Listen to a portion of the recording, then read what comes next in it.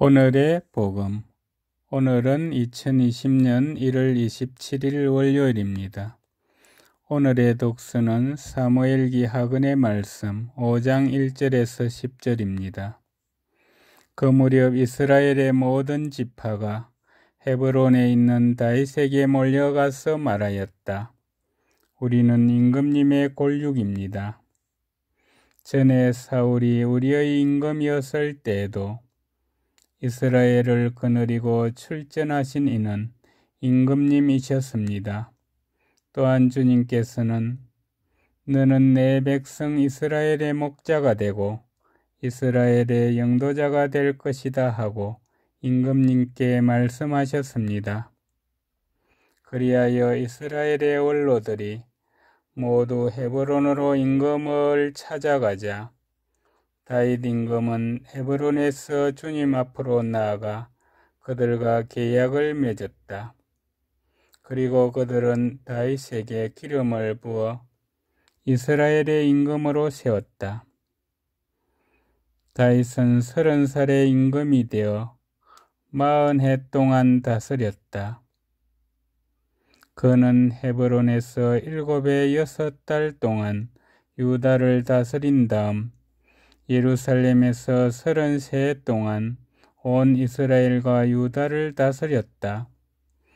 다윗 임금이 부하들을 거느리고 예루살렘으로 가서 그 땅에 사는 여부서족을 치료하자 여부서 주민들이 다윗에게 말하였다.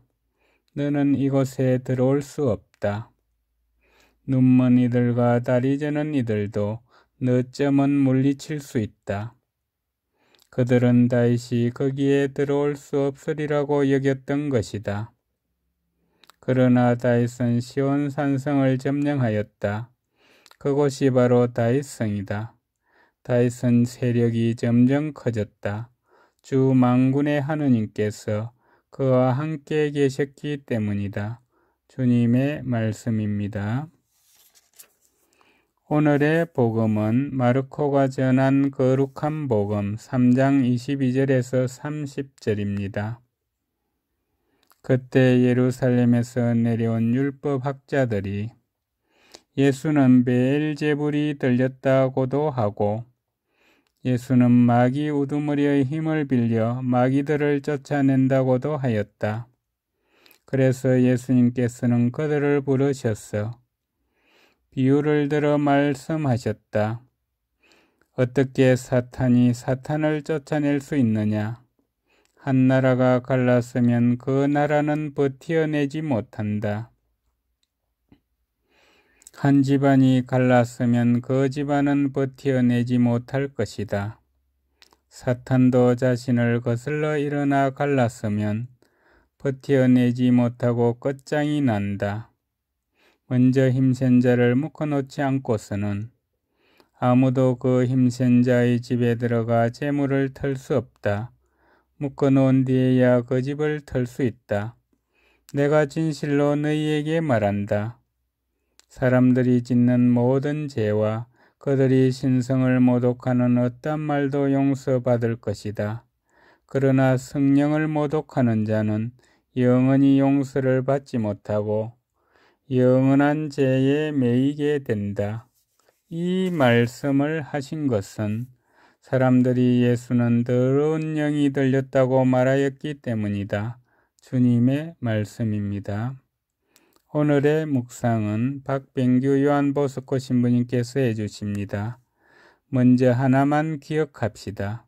하느님께서 만드신 모든 것은 좋은 것입니다.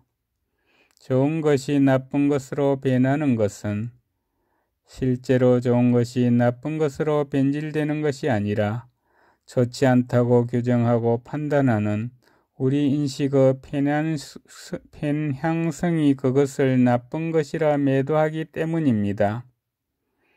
사람들은 좋은 사람, 나쁜 사람으로 완전히 구분되지 않습니다.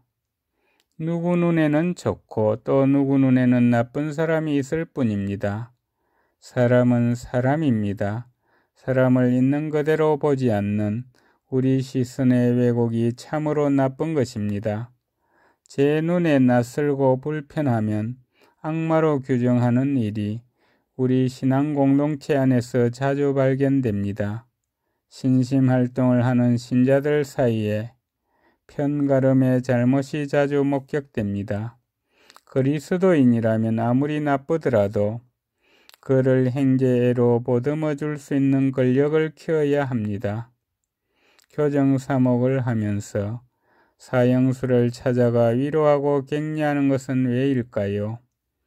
회개하고 뉘우치고 그래서 하느님 안에서 새로운 삶을 살아갈 수 있기를 간절히 바라는 인간다움에 대한 열정 때문이 아닐까요? 비록 누군가가 아무리 나쁜, 나쁘더라도 늘 좋은 시선으로 바라보고 그를 위하여 기도할 수 있는 힘을 길러야 합니다. 신약 성경에 나타나시는 성령께서는 합과 용서의 힘을 간직하도록 신앙인을 도우십니다. 서로 달라도 하나의 신앙을 지켜나가도록 우리에게 용기를 주십니다. 서로가 다른 것이 당연하듯 서로가 하나로 일치하는 것이 성령의 세상에서는 당연합니다. 다름을 틀림으로 생각하는 것이 진정한 악마입니다. 악마가 발붙이지 못하도록 서로를 품어주어야겠습니다. 다름에 대한 적응, 이것이 참 좋은 세상을 향한 우리의 첫걸음입니다. 감사합니다.